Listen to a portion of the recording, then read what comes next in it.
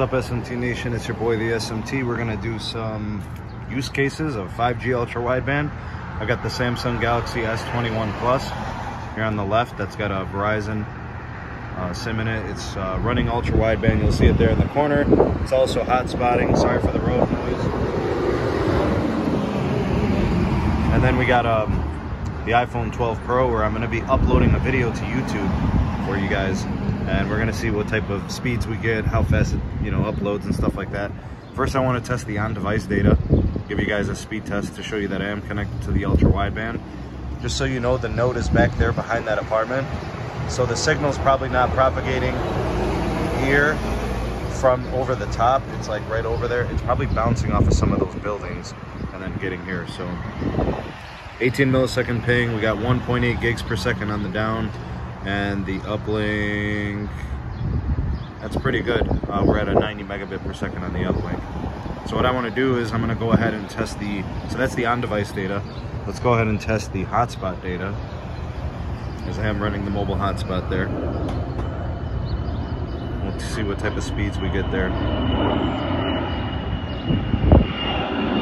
Ping time is a little bit higher 23 millisecond we do have uh, 722 on the downlink, so a little bit less than half of the throughput, but the uplink still pretty decent. Hovering around that 60 megabit mark there. 55, it started around 70. All right, so ended up at about 55 megabits per second. Anyways, what I want to do for you guys, I'm going to go ahead and upload a YouTube video. And we're going to time it and see how long it takes. All right, so you'll see we're about to upload it. And you'll see that the video is there. I'll just call it one. It's gonna go unlisted anyways. And then we'll start the timer as soon as it gets to going. And you'll see that it is preparing. Uh, that's not when it's connected. That's actually just preparing to upload. I'm gonna go ahead and as soon as it finishes the preparing part, I'll go ahead and start it. I'll start the timer and we'll see what type of speeds we get. I will say that sometimes even with fast uplink on the Ookla, it doesn't necessarily translate into, you know, usage.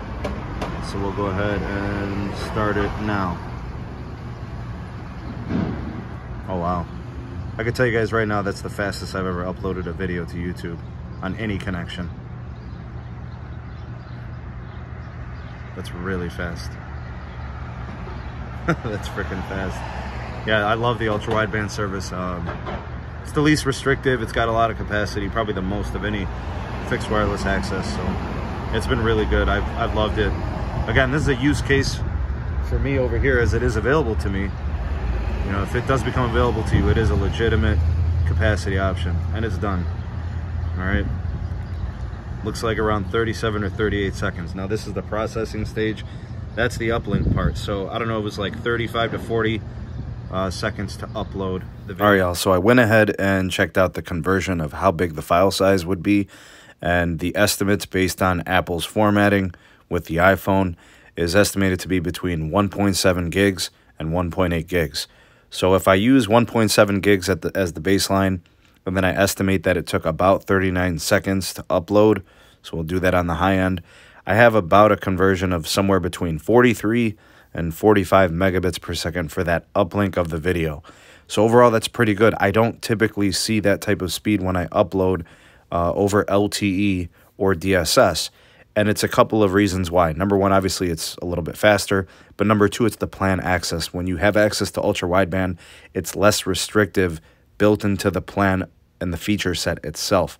And that's why it seems to work better for uplink and other tasks and activities. Let me know what you think of this testing. Let me know what you think of the process. You know, would you guys, uh, how'd you see or, or view that upload? I'm telling you guys, it was a great upload typically my videos don't upload that fast. I was very happy with that, and it was awesome to see. Go ahead and sound off in the comment section below the voice of the people, the SMT Nation. Let your voice be heard. And if you are a real one and you watch this all the way through, hashtag 5G ultra wideband. Thanks for watching, and we'll catch you all in the next video. Peace. Thank you for taking this opportunity to watch the SMT YouTube channel. If you appreciated this video, give it a like and a share to all your favorite social media platforms. Thank you in advance for that. Also, check out some of the links in the description box. We have the SMT Patreon page.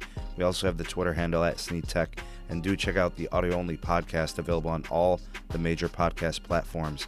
And if you are new, have not subscribed, go ahead and hit that subscribe button and activate the bell notification icon so you never miss an upload from the SMT. We'll catch you on the next video. Peace.